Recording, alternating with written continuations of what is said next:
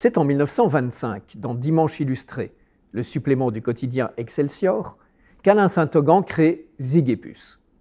Ces deux garçons sans famille et sans le sou rêvent d'Amérique et feront le tour du monde, empruntant tous les moyens de locomotion imaginables.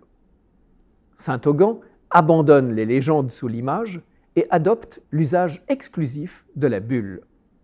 Il suit ainsi l'exemple des bandes dessinées américaines traduites dans Dimanche illustré.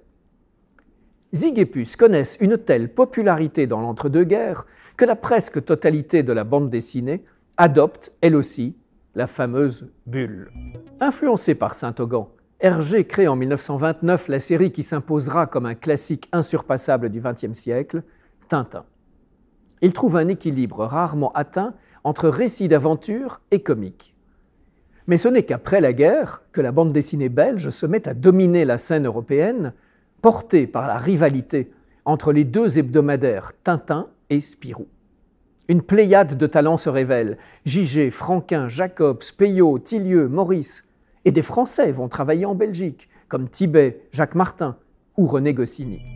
À Paris, l'hebdomadaire Pilote des éditions d'Argo est confié à la direction avisée de Goscinny. C'est là qu'il avait créé son Astérix avec Uderzo en 1959. Dans les années 60, Pilote est porté à un niveau d'excellence, ce qui permet à la génération des Gottlieb, Bretéché, Giraud, Druyet, Mandrika et autres Cabu ou Reiser de s'émanciper des limites esthétiques et morales de la bande dessinée enfantine pour explorer de nouveaux territoires. À cette époque, le balancier de la création revient du côté français.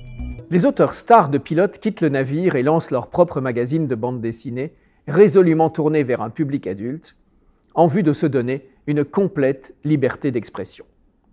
Ainsi naissent L'écho des savanes en 1972 Métal hurlant et fluide glacial en 1975.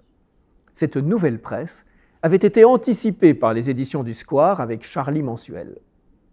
La maison belge Casterman entre à son tour dans l'arène en créant le mensuel À suivre, qui promeut les récits longs et les romans graphiques en BD.